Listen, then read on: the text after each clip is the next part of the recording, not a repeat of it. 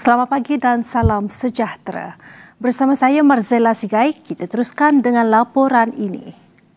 Menteri Perumahan dan Kerajaan Tempatan Datuk Seri Dr. Sim Koo Hian menyeru seluruh rakyat Sarawak untuk bekerjasama dan turut serta dalam program vaksinasi. Ini kerana Kerajaan Sarawak menyasarkan untuk memberikan suntikan vaksin kepada seluruh penduduk menjelang Ogos tahun ini. Sekian saja dari saya Marzella Sigai untuk ringkas TVS. Salam hormat dan jumpa lagi.